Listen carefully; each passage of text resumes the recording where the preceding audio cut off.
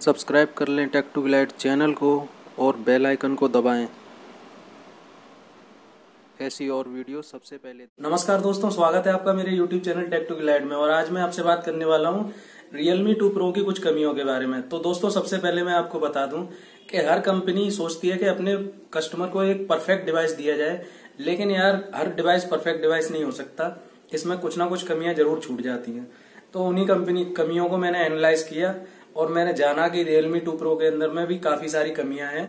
और इस वीडियो को बनाने का सिर्फ़ एक ही मकसद है, क्योंकि यार आप बहुत मेहनत से पैसा कमाते हो, तब जाके एक स्मार्टफ़ोन खरीदते हो, और फिर भी आपको उसमें कमियाँ मिल जाएँ।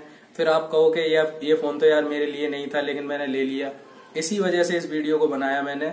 अगर वीडियो अच्छा लगता है तो इसे लाइक कर देना शेयर कर देना, और सब्सक्राइब तो कर ही लेना मेरे यूट्यूब चैनल को, क्योंकि आपके लिए मैं ऐसी टेक वीडियोस लेके आता रहता हूँ। तो चलिए दोस्तों, शुरू करते हैं इस वीडियो को।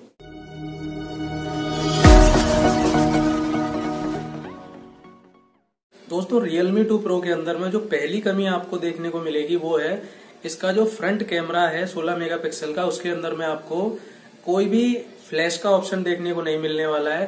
कंपनी ने इसमें एक डिस्प्ले फ्लैश दिया हुआ है, वो आप जानते हैं यार लो लाइट में इतना अच्छा वर्क नहीं करता है, और आपको इसमें, इसके जो फ्रंट कैमरा है, उसमें फ्लैश देखने को नहीं मिलने वाला है। अब जो दूसरी कमी है मेरे अकॉर्डिंग वो है इसमें आपको 3500 सौ की बैटरी मिलती है। चलो ठीक है 3500 सौ की बैटरी से काम चल जाएगा, लेकिन इसके अंदर में आपको फास्ट चार्जिंग का सपोर्ट भी देखने को नहीं मिलता है, जो कि यार एक गलत बात है। अगर फास्ट चार्जिंग होती तो ये फ़ोन बहुत इंस्टेंटली चार्ज होता, और अब इसमें फास्ट चार्जिंग ना होने की वजह से लगभग आपको दो घंटे लगेंगे इस पैंतीस सौ की बैटरी को चार्ज करने में। लेकिन अगर कंपनी चाहे तो इसे ओटीए अपडेट के थ्रू इसे अनेबल कर सकती है, क्योंकि यार जो प्रोसेसर है स्नैपड्रैगन 660 वो अपने आप में कैपेबल है फास्ट चार्जिंग के लिए। अब दोस्तों, जो तीसरी कमी है मेरे अकॉर्डिंग वो है इसमें यूएसबी टाइप सी पोर्ट का ना होना। तो आपको पता है दोस्तों 2018 में जितने भी फोन्स आए हैं, लगभग अब सभी में यूएसबी टाइप सी पोर्ट आने लगा है। अभी अभी इसी कंपैरिजन में एक जो फ़ोन लॉन्च हुआ है मोटो का one power Motorola one power उस फ़ोन के अंदर में भी आपको यूएसबी टाइप सी पोर्ट देखने को मिल जाता है। और उसके बाद में दोस्तों, जो तीसरी कमी है, चौथी कमी है और मेरे अकॉर्डिंग वो काफ़ी बड़ी कमी है, वो है नोटिफिकेशन एलईडी लाइट का, इसमें ना होना।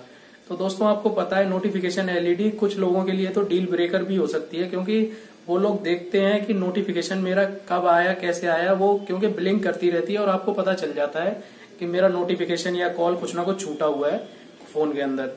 अब दोस्तों, जो पांचवी कमी है मेरे अकॉर्डिंग वो रह गई इसमें एफएम रेडियो का ना होना। इसमें आपको एफएम रेडियो का सपोर्ट भी नहीं मिलने वाला। अगर आप यूज़ करते हैं कोई थर्ड पार्टी ऐप तो शायद आपको मिल जाए तो ठीक है, वरना फिर इसमें इनबिल्ट एफएम रेडियो आपको नहीं मिलेगा। और छठवीं जो दोस्तों कमी है, वो है इसकी यूआई दोस्तों, इसमें आपको ओप्पो का कलर ओएस 5.2 देखने को मिलता है। तो आपको पता होगा कलर ओएस लैक करता है रियलमी वन में भी किया है रियलमी टू में भी करता है, और इसमें भी करेगा। क्योंकि ओप्पो की यूआई है, बहुत ज़्यादा कस्टमाइजेबल और इसका जो परफॉर्मेंस है, वो इतना अच्छा नहीं आता। अगर ये एंड्रॉइड वन के साथ में होता फ़ोन तो ये अपना स्नैपड्रैगन 660 इसमें धमाल ही कर देता और बहुत ही अच्छी परफॉर्मेंस देखने को मिल सकती थी आपको। अब दोस्तों, ये सातवीं जो कमी है, वो मेरे अकॉर्डिंग तो कमी है और हो सकता है कि ये पर्सन टू पर्सन डिपेंड करता है कि कमी है या नहीं।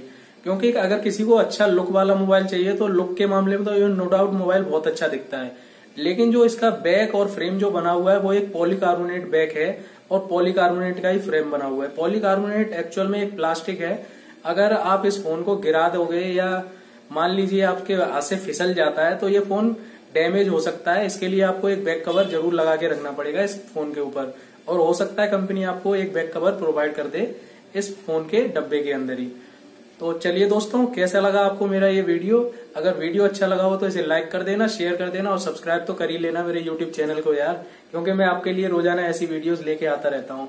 तो चलिए दोस्तों, मिलता हूँ आपसे अगली ऐसी एक लेटेस्ट वीडियो में, तब तक के लिए जय जवान, जय किसान।